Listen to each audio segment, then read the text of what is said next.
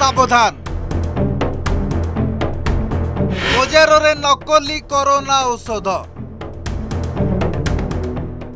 ଗୋଦାମରେ ନକଲି favipiravir corona ସହିତ ସାରା ବିଶ୍ୱ ଲଢ଼େଇ କରୁଥିବା ବେଳେ ଏକ ଏମିତି ଖବର ଆସିଛି ଯାହା ଆପଣ ଜାଣିବା ନିହାତି ଜରୁରୀ। କରୋନାରୁ ମୁକ୍ତି ପାଇଁ ଆପଣ ଖାଉଥିବା ଔଷଧ ଅସଲି ନା ନକଲି ଏହା ଜାଣିବା ନିହାତି ଦରକାର ହୋଇପଡ଼ିଛି। କାରଣ କଟକ କନିକା ଛକ ନିକଟରେ ଥିବା ଏକ ମେଡିସିନ ହୋଲସେଲର ଗୋଦାମରୁ ମିଳିଛି ନକଲି କରୋନା ଔଷଧ। ସତର ହଜାର ଫାବି ପିରାଭିର ନକଲି କରୋନା ମେଡିସିନ। ଏହା ସହିତ ଆଉ କିଛି ନକଲି ଔଷଧ ଯାହାର ଆନୁମାନିକ ମୂଲ୍ୟ ଅଣସ୍ତରୀ ଲକ୍ଷ ଟଙ୍କା ବୋଲି ଜଣାପଡ଼ିଛି। ଜିଲ୍ଲା ଡ୍ରଗ୍ସ କଣ୍ଟ୍ରୋଲର ସ୍କ୍ୱାଡ୍ ଚଢ଼ାଉ କରି ଏହି ଔଷଧ ଜବତ କରିଛି। ମିଳିଥିବା ସୂଚନା ଅନୁସାରେ ଉତ୍ତରପ୍ରଦେଶର ମାକ୍ସ ରିଲିଫ ହେଲ୍ଥ କେୟାର ନାମକ କମ୍ପାନୀରୁ ଏହି ଔଷଧ ଆସୁଥିଲା। ହୋଲସେଲର ବ୍ୟବସାୟୀଙ୍କ ବିରୋଧରେ ଡ୍ରଗ୍ସ ଆଣ୍ଡ କସ୍ମେଟିକ୍ ଆଇନ ମୁତାବକ କାର୍ଯ୍ୟାନୁଷ୍ଠାନ ଗ୍ରହଣ କରାଯିବ ବୋଲି କହିଛନ୍ତି ଡ୍ରଗ୍ସ ଇନ୍ସପେକ୍ଟର କଟକ କଟକରେ କନିକା ଛକରେ। ତା ଦେହରେ ପ୍ରାୟ ଶହେ ସତୁରି ବାକ୍ସ ସ୍ପୁରିୟସ୍ ଫେଭିପିରାଭିର ଟ୍ୟାବଲେଟ୍ ଆମେ ସିଜ୍ କରିଛୁ। ଆଉ ତା'ର ସାମ୍ପଲ୍ ବି ନେଇଛୁ। ସେଗୁଡ଼ା ଟେଷ୍ଟିଂ ପାଇଁ ପଠା ହେବ ପଠା ହେଲା ପରେ ଯାହା ଆକ୍ସନ୍ ନିଆଯିବ। ବର୍ତ୍ତମାନ ଯାହା ଯାହା ଖବର ଅଛି ଆମ ପାଖରେ। ଯେ ଏଇ ମେଡ଼ିସିନ୍ ସେ ଦୋକାନୀ ପଠାଇଛନ୍ତି କିଛିଟା ଗ୍ୱାଲିୟର।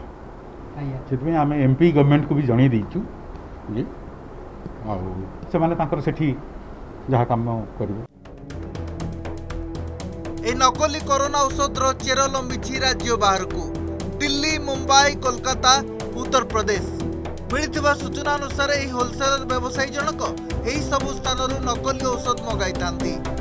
ଡ୍ରଗ୍ ଇନ୍ସପେକ୍ଟରକୁ ଏହି ବ୍ୟବସାୟୀଙ୍କ ବିଷୟରେ ସୁରାଗ ମିଳିଥିଲା ମୁମ୍ବାଇରୁ। କାରଣ କିଛି ଦିନ ତଳେ ମୁମ୍ବାଇରୁ ଜଣେ ନକଲି କରୋନା ଔଷଧ କାରବାର କରୁଥିବା ବ୍ୟକ୍ତି ଧରା ପଡ଼ିଥିଲା। ତା ପାଖରୁ ମିଳିଥିବା ସୂଚନାକୁ ଆଧାର କରି କଟକର ଏହି ବ୍ୟବସାୟୀଙ୍କ ପାଖରେ ପହଞ୍ଚିଥିଲେ ଡ୍ରଗ୍ ଇନ୍ସପେକ୍ଟର।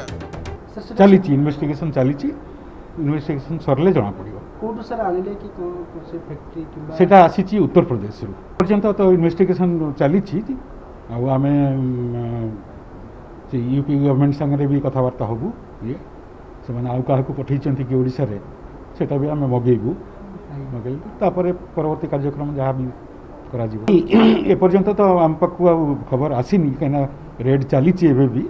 ରେଡ୍ ସରିଲା ପରେ ଜଣାପଡ଼ିବ ତା ଦେହରେ ଆଉ କିଛି ଔଷଧ ବି ଥିଲା କି ନାହିଁ।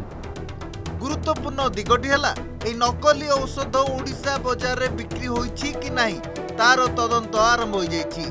ଜବତ ହୋଇଥିବା ଔଷଧକୁ ଟେଷ୍ଟ ପାଇଁ ପଠା ହୋଇଛି ମଧ୍ୟପ୍ରଦେଶର ଗ୍ୱାଲିୟରକୁ କିଛି ମେଡିସିନ ଯାଇଥିବାରୁ ଏନେଇ ମଧ୍ୟପ୍ରଦେଶ ସରକାରକୁ ମଧ୍ୟ ଅବଗତ କରାଯାଇଛି।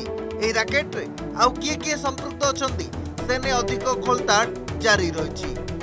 ଭୁବନେଶ୍ୱରରୁ ରୋଶନ ରଥଙ୍କ ସହିତ କଟକରୁ ଇମ୍ରାନ ଖାନଙ୍କ ରିପୋର୍ଟ ଅର୍ଗସ୍ ନ୍ୟୁଜ୍।